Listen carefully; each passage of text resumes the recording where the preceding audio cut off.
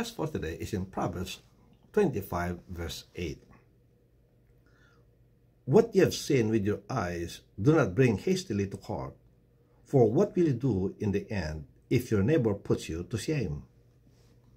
There are times when we are rushed in our decision. And uh, we are told here, friends, that we file case against our neighbor because of what we have seen.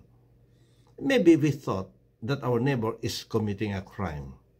That's why we file that case, because we have seen him do something. But don't be rash. Maybe because of what you've seen, friends, you'll be proven wrong in the end. Do you have any proof that that neighbor that, that you have has committed a crime? If you have seen your neighbor take something out of somebody else's possession, don't just assume, friends, that that neighbor is stealing. Don't assume. Because maybe that neighbor was instructed by the owner of the property to take it. You just don't know what's happening behind. You have only seen a portion of it and you make judgment and quickly you file a case. We are told, friends, that don't be hasty. Think again. Consider all the facts before filing a case against your neighbor. Because the question here, friends, is what will you do if your neighbor comes back to you and prove you wrong? What will you do? Just say sorry. Well, friends, good if your neighbor would just accept your sorry. But how about your neighbor filing a case against you of slander or libel for destroying their name? They can come back to you, friends. And so again, the message for us today is that what you have seen, well, don't make up a story out of it.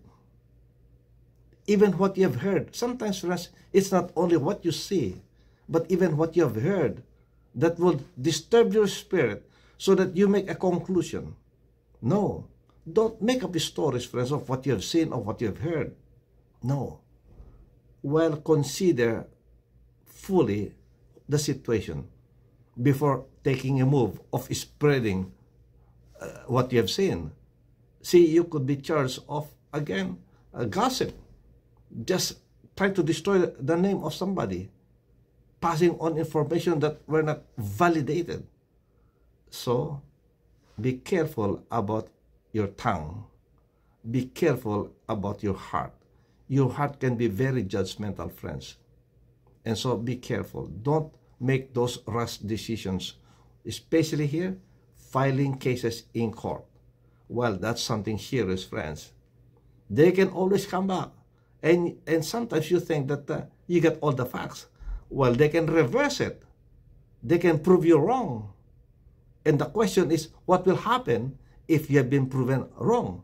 Then, friends, you will regret it when they come back to you and file cases against you. Yes, friends, don't be rash. Sometimes we thought that we got control over situation, but no. It's beyond us. So, guard your tongue, guard your actions. Hallelujah. Friends, don't make up stories. Don't try to conclude because of what you've seen that you can make up stories and make a conclusion that your neighbor is wrong. You could be proven wrong yourself. Hallelujah. And so, friends, again, this is a warning for us. May the Lord bless you. May the Lord keep you. May His face shine upon you and be gracious unto you. May He lift up His countenance and give you His peace, His shalom. God bless. See you next time.